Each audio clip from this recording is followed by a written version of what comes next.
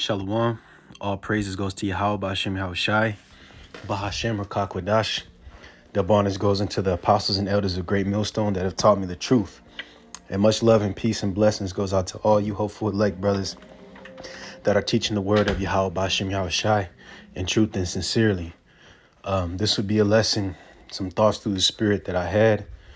Don't allow, for you brothers out there, you sisters, don't allow your circumstance to make you become bitter, to make you become a complainer, to to to make you lose hope and faith in the power of Yahweh Bashim Yahushai.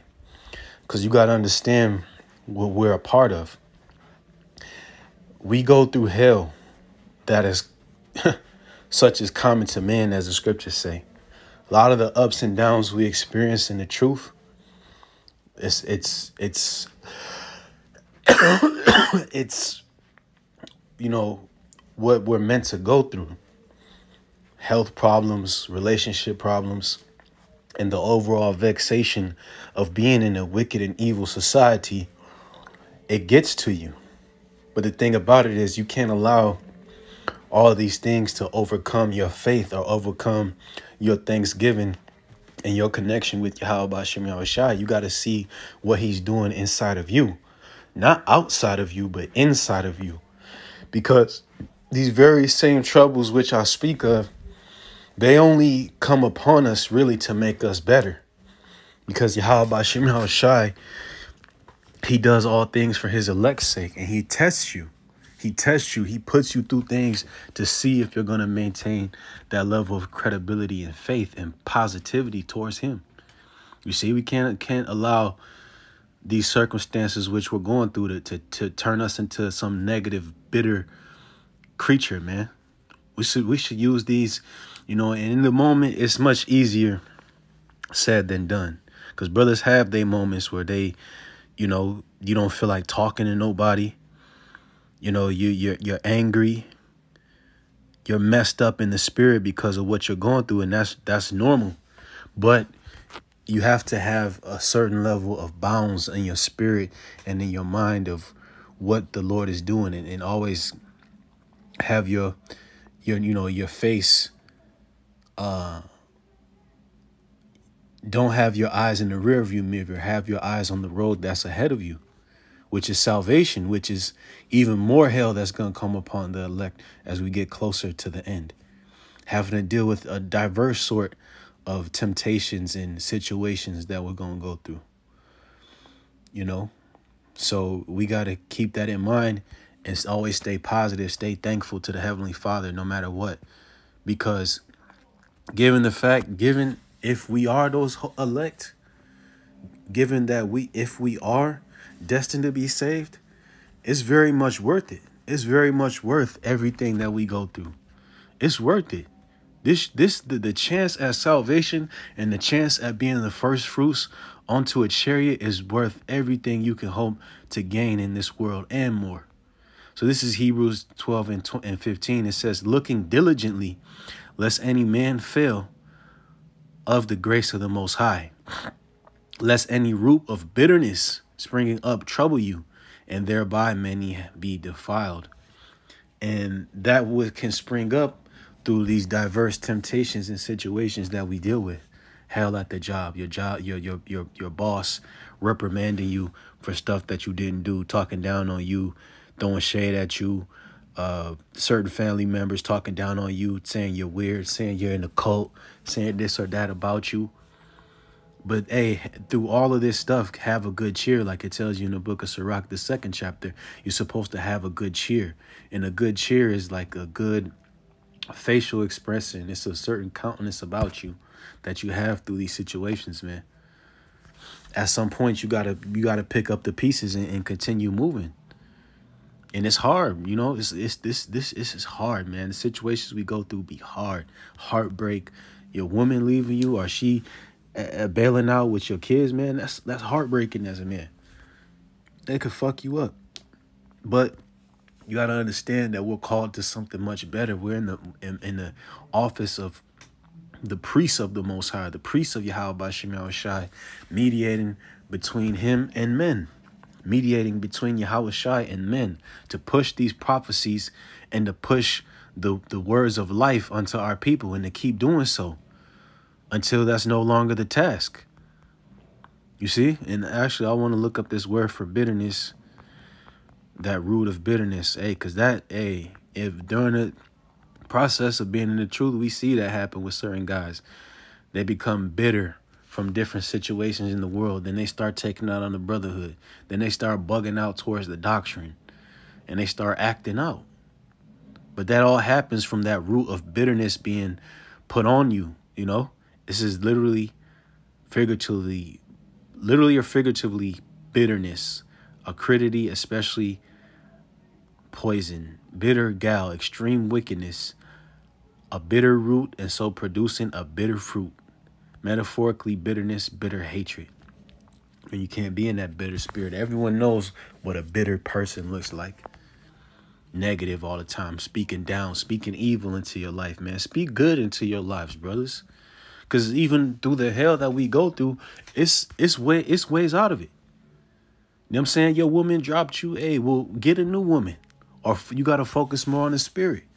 Or your kids I can't be in your life for a certain reason. Well, hey, that's why you got brothers. That's why you got uh, uh, a whole heap of, of truth and, you know, wisdom in the scriptures to digest.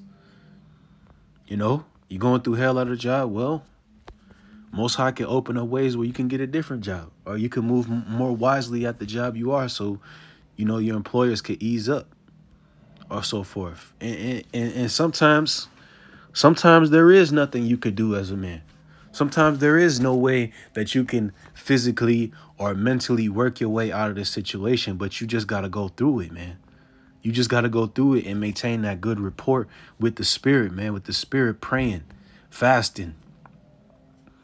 And you got to see your way out. That's where the faith comes in. Because when all the devices which have been exhausted, everything has been exhausted of what you can do or say or pray, that's where your faith comes in. And that's why faith is so much power. That's why faith is so powerful. And that's why only faith is going to get us through, man. That's it. Okay? So let's go here. In Philippians 1 and verse 6, it says, being confident. And when you have confidence, it means you believe in yourself. Being confident of this very thing, that he which hath begun a good work in you. And what's the good work that was started within us? Is that the moment we knew that we were the sons of God, man. The moment that we knew we were Hebrew Israelites and that the Bible was our book and we had to dive into it, digest it, eat of this book and preach it. Flip the talents. That's the good work. It says, in you will, a good work in you will perform it until the day of Hamashiach Yahushai. So you have to be confident that, you look, and this statement was not made for no reason. Because think about it. This is Paul speaking to the church at Philippi. So be that as it may, you can go through circumstances and situations where you don't you feel like the Most High is leaving you. You feel like He's placed you on the outs, so to speak. But you have to remain faithful. Remain faithful, man. Remain confident that He started the work in you and He will finish as long as you abide in Him. You have to abide in Him, live in Him, live in His truth, watch lessons, read the scriptures, do lessons you know, keep going. Because I know brothers out there, man, we experiencing fucking hell right now. We're experiencing hell. Brothers are fighting demons in their mind all the day long. You don't want to be here. It's like these people are rejoicing at an all-time fucking high, bro. And it pisses you the fuck off, man.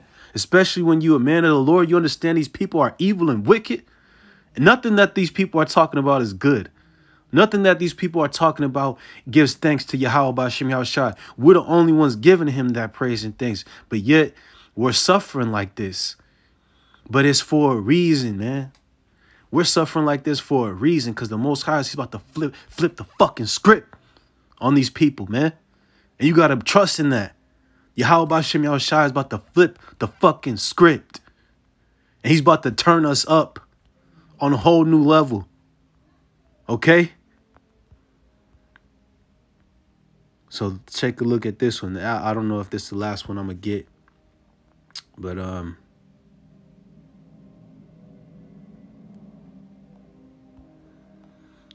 Matter of fact, let's get this one first. This is the book of Colossians 2 and 7. It says, rooted. Now, when something is rooted, it has a foundation that's sure, not easily lifted up by different things, trials and tribulations. You maintain and stay upon that routine which you've become familiar with, which is, again, tapping into the brotherhood, pushing this word, watching, watching, man, watching for these prophecies. It says, and built up in him established in the faith, as ye have been taught, abounding therein with thanksgiving. So abounding meaning increasing. When something abounds, it increases, it gets better, it gets stronger, and so forth. But you have to do this with thanksgiving, thanking the Lord for the levels that He puts you on, or even thanking you for extreme lessons that He puts you through, hell that He puts you through. Because you know what? That hell after you go through it, like it said, like the saying goes, hindsight is 2020. You start to realize things about yourself. You start to realize the mistakes you've made, and you, realize it and move better. And pray for the pray to the Lord to give you that that prudence, that skill to be able to look at yourself and be honest with yourself. Be honest with where you lack and to improve it, man. You know, it says as ye have been taught, abounding therein with thanksgiving. So always give thanks, bros. Don't be negative and fucked up all the time and getting to the point where you blaming the most high. And you, man, that's that you should never be in that fucking spirit, man. That's unacceptable. That's unfucking acceptable. Cause you know, if you don't, if you understood the love and how about Shem how Shai have for you, you would never second guess what he's doing with you. This is the book of Sirach 39 and verse 33. It says, All the works of the Yahweh Bashim Yahushua are good, and he will give every needful thing in due season. See that? He will give us every need, single thing that we need for this faith and for this walk when it's the proper time. You know, and we got to maintain that, believe that, man. He will give every needful thing when it's time, bros whether it's the increase of even spiritual things, when it's time for you to increase in wisdom, when it's time for that candle in you to shine brighter, when it's time for you to be stronger, more tough, more manly, when it's time for you to increase in your wealth or how much money you making, when it's time for you to increase in, in all these sorts of diverse things that Yahweh Shem Shai got stored for you, and he's just he's just waiting to give it to you. He's gonna give it to you, man. But just make, maintain faith. Don't bug out. Don't get that root of bitterness in you. Okay? Keep going, bros. So with that, you know, hopefully this was edifying. All praise goes to Yahweh Bashim Shai and Shalom.